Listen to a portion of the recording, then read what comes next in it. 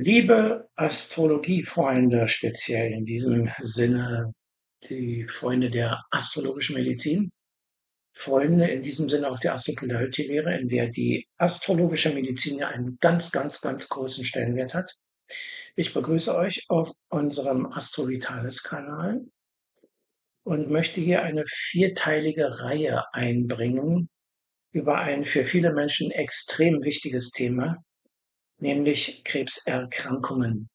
Ganz generell möchte ich vorab, bevor ich mit dem ersten Teil, dem saturnischen Typus, beginne, sagen, dass jeder Mensch in seinem Geburtsbild Disposition nennen, mindestens eine oder auch sogar mehrere für verschiedenste Arten von Krebserkrankungen hat.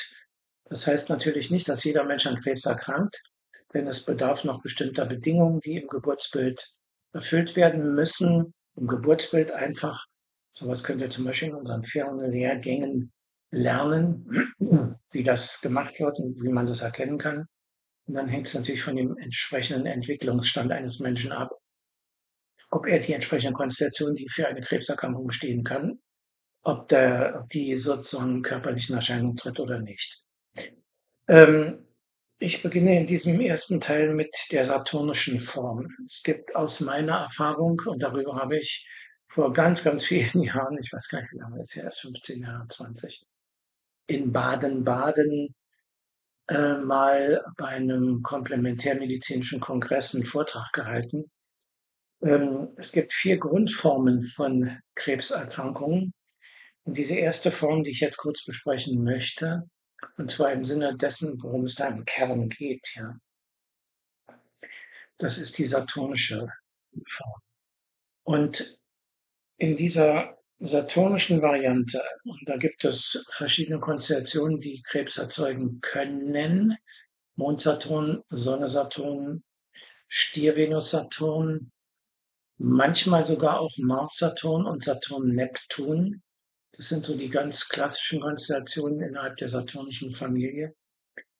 Da geht es im Grunde genommen darum, dass dieser Mensch, und man muss sich klar machen, bei Krebserkrankungen sind es absolut tiefliegende und in der Regel vollkommen unbewusste Mechanismen, die da wirken. Da geht es um eine existenzielle Weigerung, sich unterzuordnen, unter irgendeine Struktur oder Hierarchie, von der man zumindest unbewusst, wenn nicht natürlich sogar auch bewusst, weiß, dass sie für das Menschliche an sich, auch für den einzelnen Menschen, nicht zuträglich ist. Es geht hier im Sinne einer Auslösung für eine Krebserkrankung um eine unbewusst gefühlte Niederlage im Kampf für eine höhere Ordnung. Denn stark saturnische Menschen äh, haben schon eine, also man könnte das jetzt mal ganz populär sagen, so ein Draht nach oben, denn Saturn entspricht dem Steinbock, das ist schon vierter Quadrant innerhalb des Geburtsbildes die haben schon eine instinktive Verbindung zu höheren Ordnungen, die also in diesem Sinne eben nicht vom Menschen gemacht sind, wo also auch Regeln herrschen, die nicht vom Menschen gemacht sind.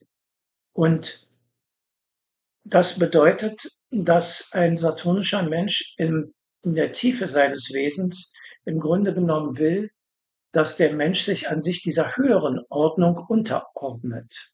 Also sich zum Beispiel der Natur unterordnet. Und wenn das aber nicht geschieht, weil der Mensch im Sinne einer eigens erfundenen Hierarchie von zum Beispiel diesem, der dann später krebskrank wird, verlangt, dass er sich diesem Menschen oder einer menschlichen Struktur unterordnen soll, dann passt das überhaupt nicht zusammen.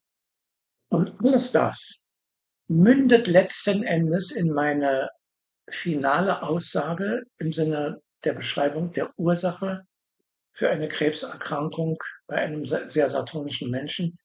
Dieser Mensch lebt dann, wenn er diesen Kampf, diese Niederlage fühlt, weil er kämpft ja für eine höhere Ordnung, Was dann passiert ist, dass er seine Würde verliert. Denn Würde, nicht Stolz, das ist ein großer Unterschied. Würde ist lebenswichtig für einen stark saturnischen Menschen.